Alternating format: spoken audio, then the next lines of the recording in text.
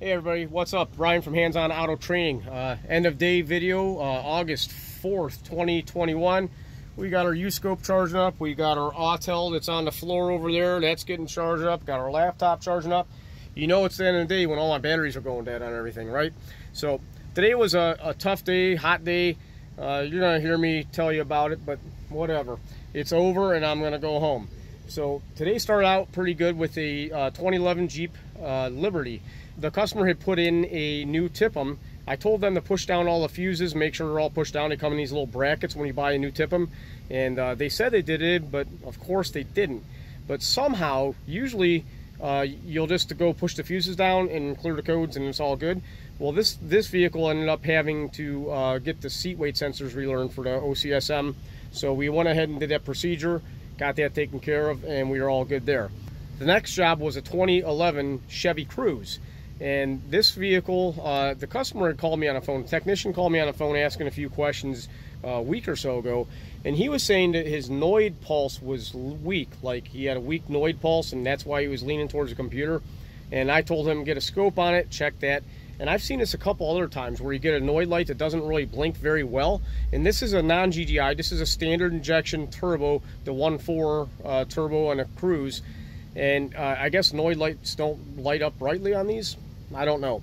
But he ended up uh, calling a computer, put a computer in it. We programmed the computer. Of course, we have a crank no start situation. Now, something interesting here, just like I told you guys, I think yesterday, the day before, I did a security learn, but the computer was setting a code saying that the security wasn't learned. It's because the vehicle didn't actually uh, exceed a certain RPM. It didn't see it crank, start, and run. Um, so we're still setting that security code. I think I have a picture of that I'm going to share with you here. Um, but basically ended up being contaminated fuel. I got my uh, picoscope on there. We had injector pulse. Uh, I was confused at first because there are a couple uh, differing wiring diagrams for this vehicle. So once we got the right wiring diagram, got the scope on there, we had a good injector pattern. I could see the pintle bump. I'm ha always happy with that. And then uh, we took the fuel pressure with the WPS and the fuel pressure was spot on. Took a fuel sample and it felt oily on my hands. Like you get it in your fingers and it just stay oily. If you spill on the floor, it would just sit there in a puddle and it'd be slippery. Usually you spill some gas on the floor, it'll be slippery and it'll evaporate in a few minutes or something. But this would, uh, maybe a few seconds, should I say, this would just go on the floor and just sit there for, it wouldn't go away. So we got an alternate fuel source, uh, a motor vac machine, hooked that up. It ran just fine. So that one was good to go. Uh, then we did a fuel pump control module on a, I think it was a 2009 Chevy Silverado. That was gravy train, no problem there. Then we get to the job that I'm just leaving now, and I've been here for probably about two and a half hours, and I got a big fat zero for it. Okay, I got nothing here.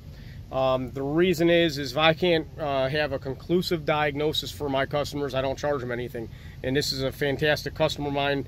You know, I'll be back to program a computer. I called the computer we'll see what happens. This is a, I think it was a uh, Infiniti QX45. I forget what year it was. I want to say 05 or 03. It's an older one. Um, but long story short, they had a used engine put in. The vehicle was running and then it started misfiring. It had a glowing red converter, according to one of the technicians, and then it smoked a uh, smoked a, a coil. It actually melted a coil. All these things happened. I don't know exactly what's going on here. I'm kind of hesitant about the computer because I think if we put a computer in there, we might fry the new computer. I can't prove that. And uh, well, anyways, I spent a lot of time scope testing all kinds of stuff.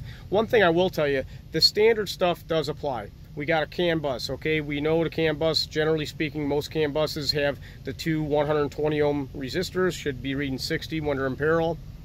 And on this vehicle, I did have to uh, disconnect the battery to get those uh, uh, get the 60 ohms at uh, the DLC pins 6 and 14.